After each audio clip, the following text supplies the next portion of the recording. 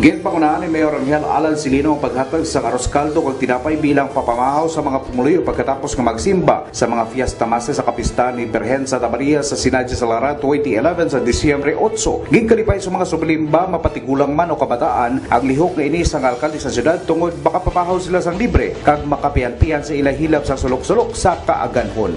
Jonathan Palomar para sa pagbago.